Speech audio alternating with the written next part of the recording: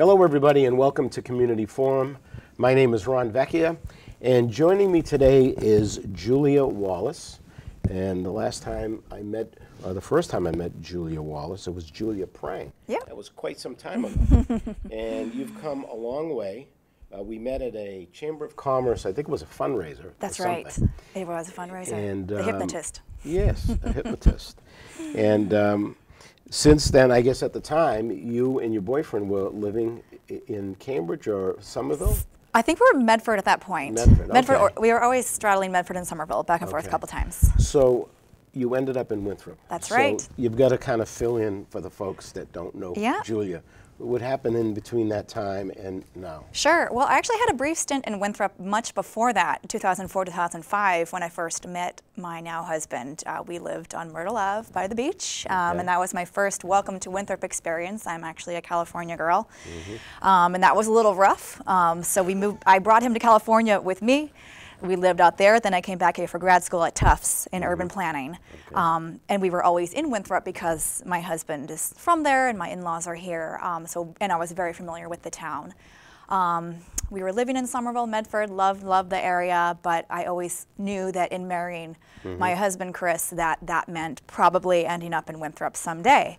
And I was okay with that. Um, and I was actually started to get excited about it um, the more I learned about the town and the opportunities here and um, all that it has to offer. So uh, we had we got married, had our condo. We had a uh, little girl three years ago, and I knew that the clock was ticking on our condo. Uh, we could only grow so large as a family there, and Winthrop. Winthrop was the best next step for us to take, so we took the plunge and moved here in July. Awesome. So Winthrop is up and coming. Uh, I Very mean, it's much. the place on the map now where people can find it. Yes. I've, I've run into a lot of young um, couples, especially if I'm out, Yep. my wife and I are out having dinner. And uh, I just struck a, up a conversation not too long ago with a gentleman that was from outside of Massachusetts. And I guess he came here on business. Mm-hmm. And he ended up moving to Winthrop with his, his wife. Mm-hmm. And I said, What brought you? He says, I don't know. He said, But all I know is I absolutely love this Yeah. town. I love it's so close to Boston. It has so many positives in terms of seashore and so forth. So there are a lot of families coming in. There's a Mm-hmm. Right. lot going on, especially up the beach area. Mm-hmm. Uh, there's a lot of rehabbing going on. A lot of three deckers turned into condos and so forth.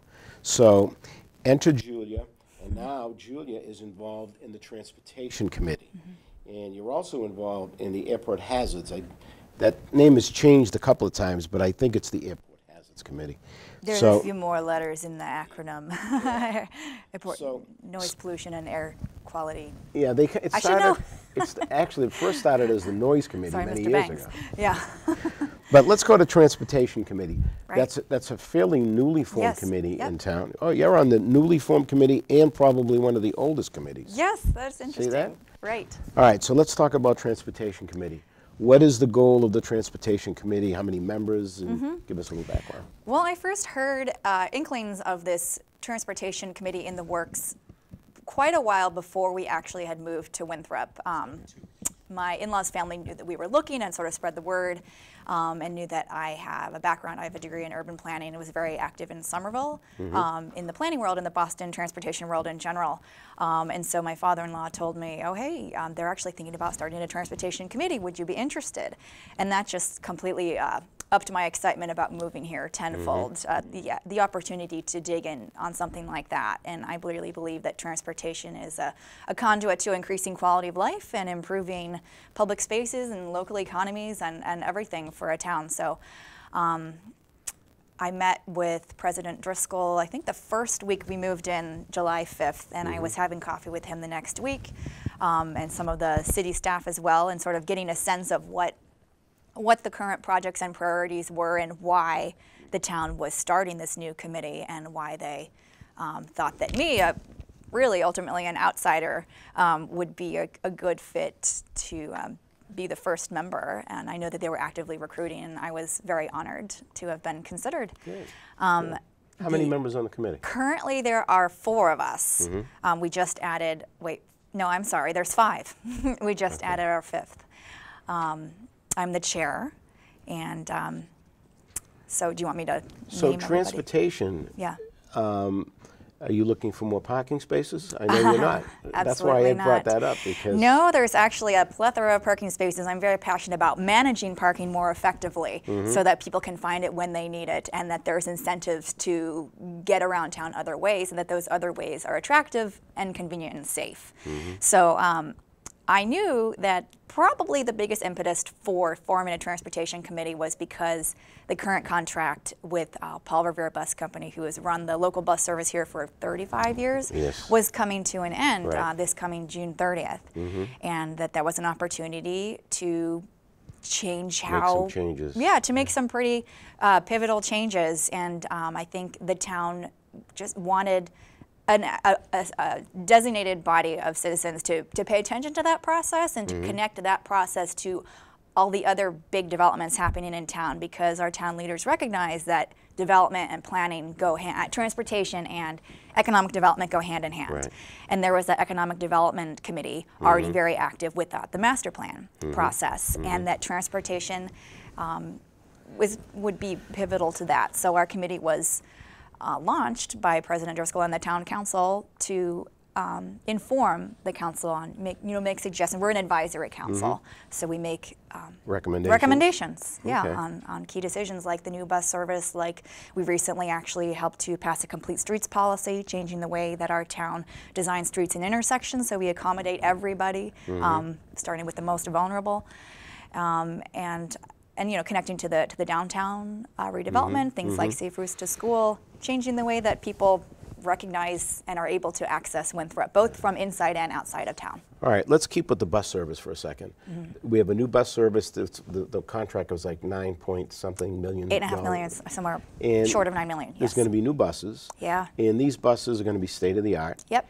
And I understand they're going to be smart buses whereby you will have the ability to go on an app Yeah. and actually check out where the bus is. Yeah, so- which we haven't been able to do. Right. We've been really one of the. There's only three communities in the whole Boston region that have been managed this way for, through Mm-hmm. the MBTA. Even though we're we're very much a core community, but we're perceived as very far flung and Right. disconnected.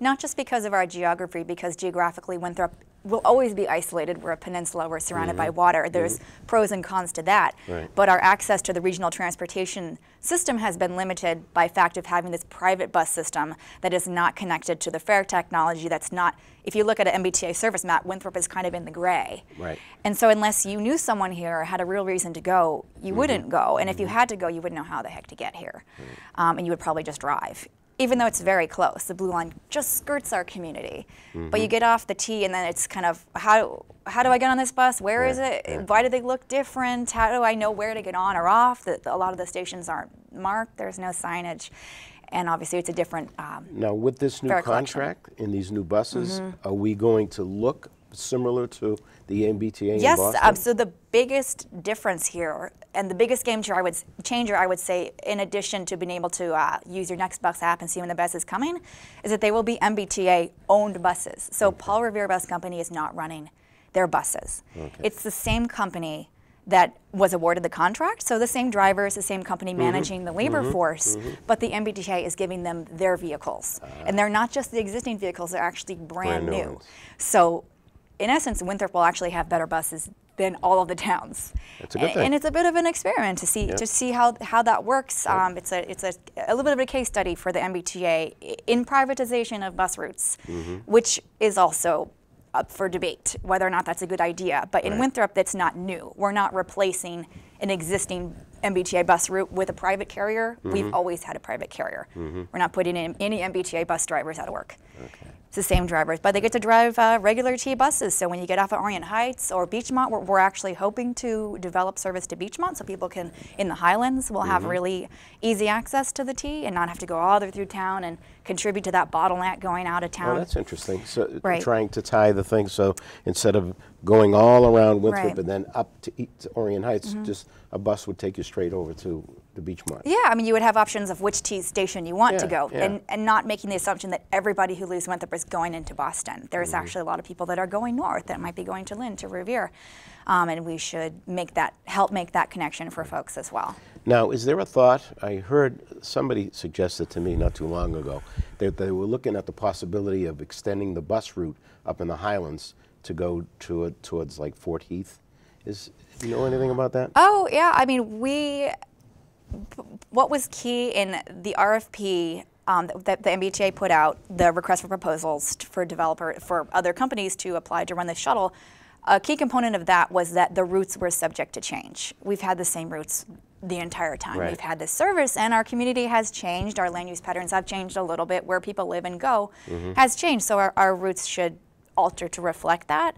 And so the T has been very transparent with us um, about having actually a service planner come to our next meeting, which will either be this Wednesday or the next Wednesday, um, to talk about what might be a good idea. How can we better serve our population? And I know that there are a lot of transit dependent people, particular seniors, up in that area that don't have any access uh, to the bus. And now that they'll be able to see when it's coming, and it, it will come, it actually comes quite frequently now for our level of population, but to actually know when it's coming would Right. be, is a game changer. Especially on a cold day, freezing day, you don't want to wait out there for 10 Right. I mean, not to mention not having shelters, Yeah. not knowing when it is. Just no one, no rational person who is going to do that unless they have no other option. And that's Mm-hmm. not the way that we want people to perceive transit in this town. It's not a last resort. It's it's actually a fantastic option that can be freeing. It can free you up. Right. and save money. Now, these little shelters that you just referred to, is the MBTA responsible for maybe supplying more shelters? Uh, that's that's one. That's of the something that our committee is is on top of. It's Yeah. It's not a given. Um, we know The that only one I can think of is the one that's in, in front of the Governor's Park. Yeah, and Yeah, but I think Governor's Park Yeah. built that themselves, though. I think the one in front of the school, the old uh, Right, the middle school? Middle school. That's the only one I can yeah, remember. there aren't many Yeah. in town, and um, we feel that that's a problem. Yep. There's not going to be a, a, a shelter at every single stop, but there Yeah, certainly major needs to be some major some major shelters um, so people can feel safe and a sense of dignity Mm-hmm. um, when they're waiting for the bus, regardless of weather. And then signage as well. Just Yeah. knowing that this is a bus stop uh, is very helpful. I have to look for the blue poles. yeah, and see what route number it is, and even have a schedule posted. All these things Yeah. that help make transit a logical choice. Mm-hmm. so we've come resort. a long way with the uh, ferry. It, you know, this year I understand it's going to be even better. They've found places in um, in uh, the Seaport District that will be able to dock and so forth. It's very exciting. Mm-hmm. Um, are you guys looking at a permanent, um, let's say in the summertime when the, when the ferry is running, a route that would take, instead of a person thinking, well, I got to get up and go to work this morning, so I'm going to get on the bus and I'm going to Orient Heights. That same person that works in the financial district could say, I'd like to get on the bus and go straight to the ferry. Instead of the bus going that way, maybe the bus should mm-hmm. be going the other way. Right. Are you guys looking at something like that? Uh, I mean, absolutely. It's fantastic that we have a ferry as an option, and mm-hmm. since we're somewhat committed to having it for the next few years, foreseeable mm-hmm. future, we want to do everything we can to leverage this new bus service as, as make it a, a boon to our ferry, to make it even more attractive and Right. easier for people to make that connection. Um, because it is somewhat a, far-flung location, the, the ferry dock, and a lot of people. I mean, if you live in the Highlands or in the Marsh area, why would you go way out there when you could just hop on and get right to the T? Exactly. Um, so there needs to be, you know, great signage around that, maybe some promotions, Mm-hmm. and make sure the bus, you know, actually serves the ferry terminal, rather than just kind of bl- blowing sort of past that area. So Right. yeah, that's that's on our radar. We want to make sure that the two work hand in hand or integrated. Okay. So the other members of your committee, do you know them off the top of your I sure do. Figured Yeah. So. I, I am very privileged to work with uh, four great guys in the community. Uh, Stephen Hines, he's Yep. Mm-hmm. a realtor here, very active in, in real estate. Um, Christopher Aiello, he's a, a lawyer. Yep. And Jerry Falbo, Yep. I think he's a pretty well known guy here in town. We kind of had a I'll join your committee if, if you join mine type of arrangement uh, with the airport hazards. And, and he's been really great to have on board with his institutional knowledge of the town. Sure. Uh, Stephen, Chris, and myself are all on, on the younger side of the spectrum, so we, we're really thankful to have Jerry.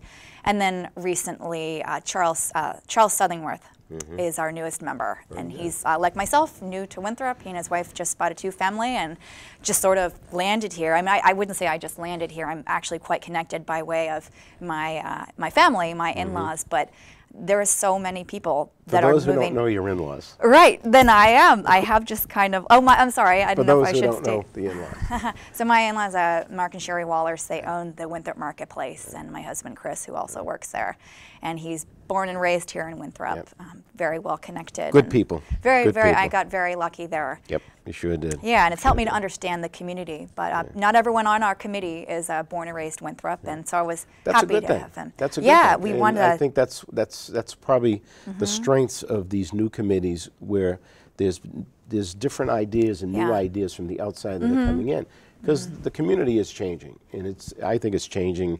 It is. Um, Bob Driscoll, uh, when when he was uh, when he was elected uh, to the town council, like, one of the things he, I remember him mentioning was he felt that the town was in a renaissance, and I, I agree with him when, Mm-hmm. Yes. when I see all the things that are happening. I mean, the last time we had any anything happen down the center in terms of revitalization was over 30 years Mm-hmm. ago.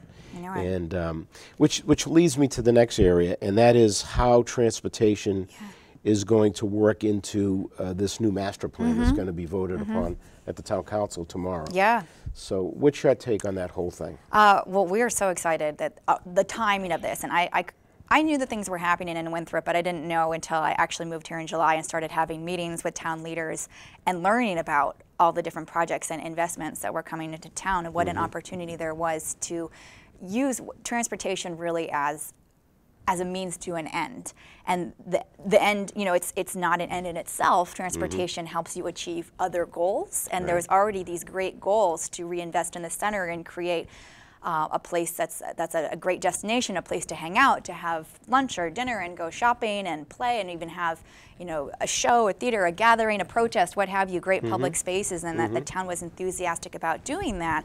But our, our sense of uh, disconnect was always a, a problem. And so transportation is a huge opportunity to making connections, not just by way of transit or driving or the way streets are connected, but how we are designing our streets, how we mm-hmm. are designing our buildings, where we're putting the parking, how we are managing the parking. I mm-hmm. mean, parking is often the thousand pound gorilla in the room because we just think, oh, we just need it, just build a Yeah, lot of it. I don't know, yeah, don't care where it is. But it matters. It's actually the single determinant of how people decide to get around. If they decide to drive or walk or bike, or um, the level of parking availability is the biggest determinant of that. Right. If there's lots of it and it's all free, you're going to get a lot of people driving, and then you have the demand outpacing the supply. So we're trying to reach an equilibrium with that. And right now, um, in downtown Winthrop, there's actually a ton of access parking.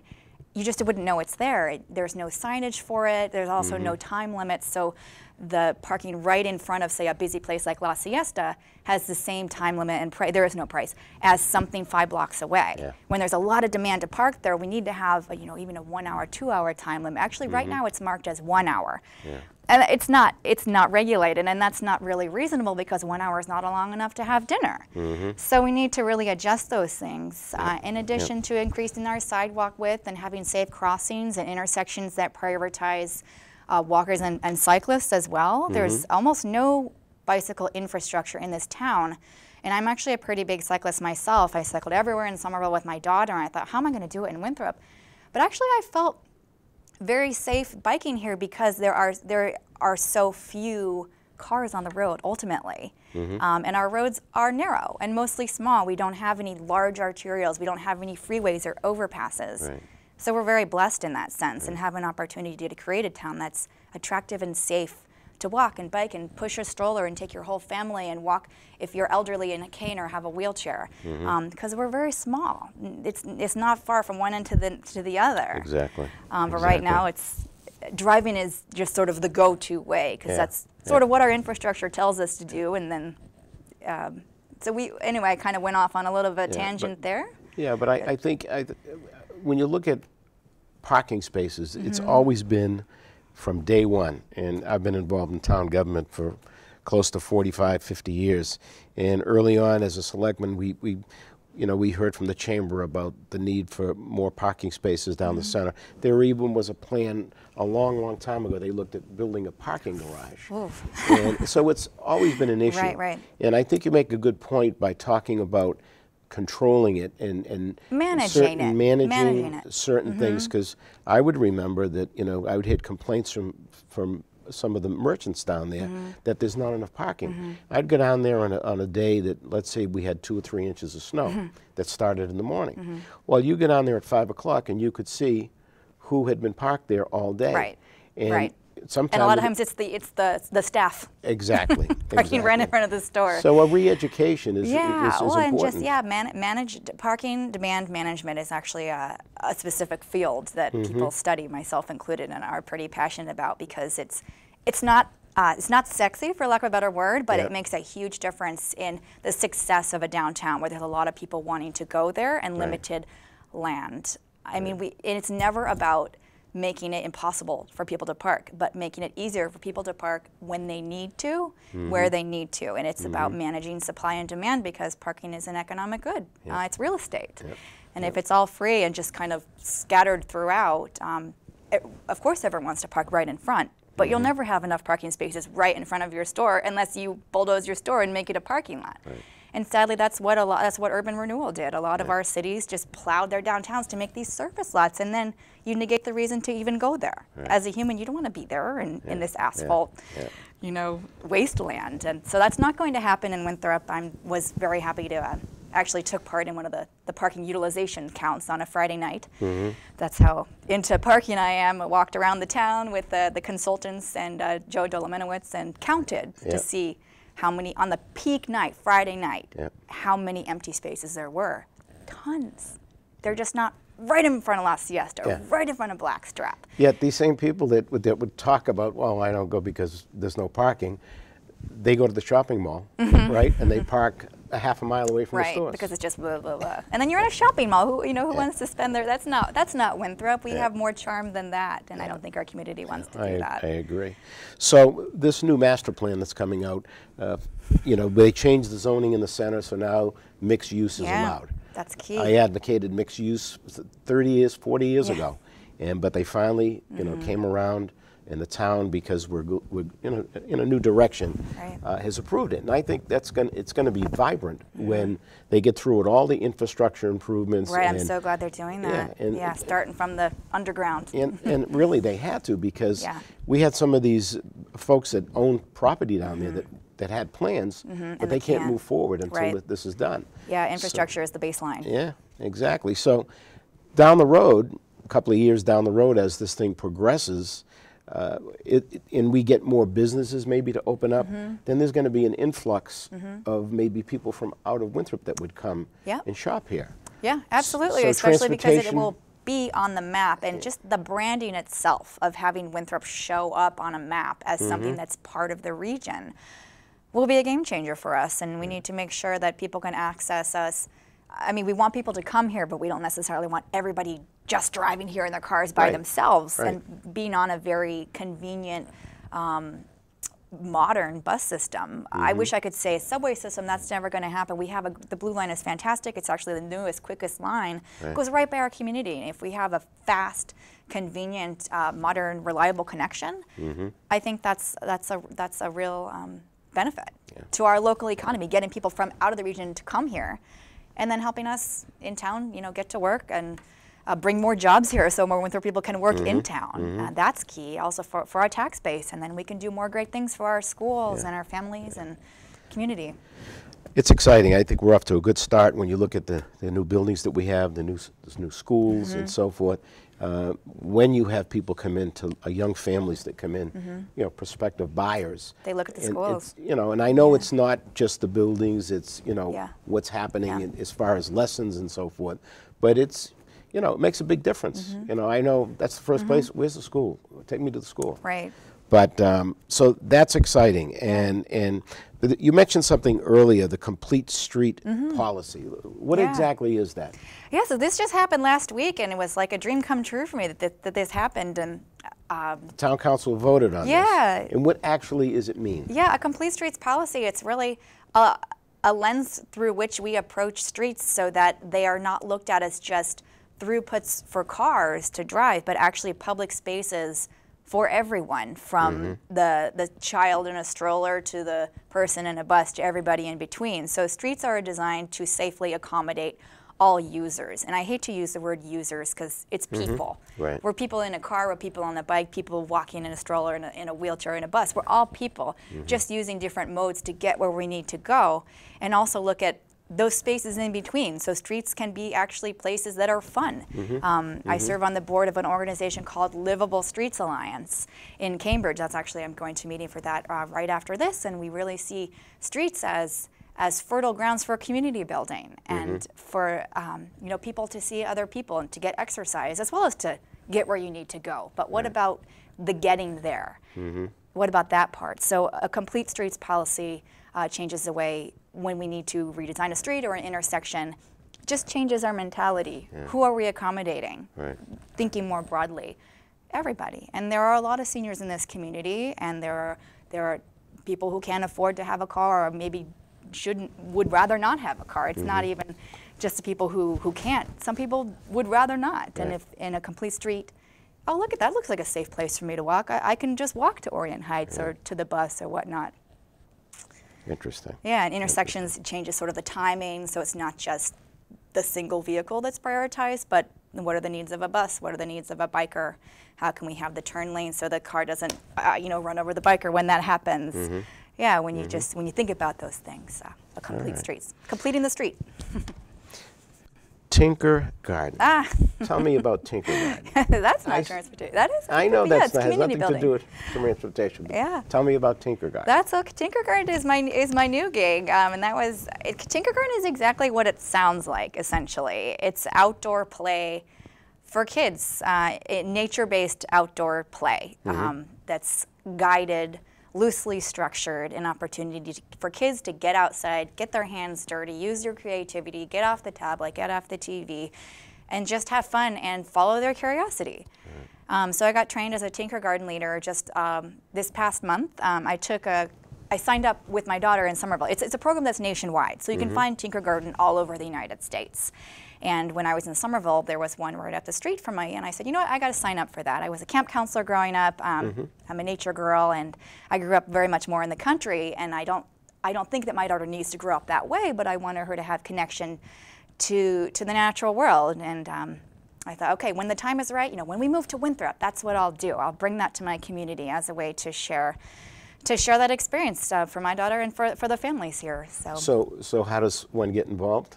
Uh, you go to tinkergarten.com slash classes and it'll or just type in Winthrop and it'll you can sign up. I'm actually doing four. I wasn't prepared to promote this at all, but thank you for the opportunity. But I noticed it the other day. I- and I Yeah. said, oh, I'm going to ask her about it. Right, right, yeah. It's first of all for it's for kids ages 18 months to five years old. So it's kind of like, it's like playtime it's for the kids. playtime, but with with some structure and with a goal. So there's always some behavioral skills and ch- development skills that we're implementing, and Mm-hmm. behavioral schema that are being applied. So for example, uh, we might make paint out of flower petals, you know, crushing different Yep. substances to see what color, and then watercolor with that. Um, if it's raining, you know, we'll make mud pies.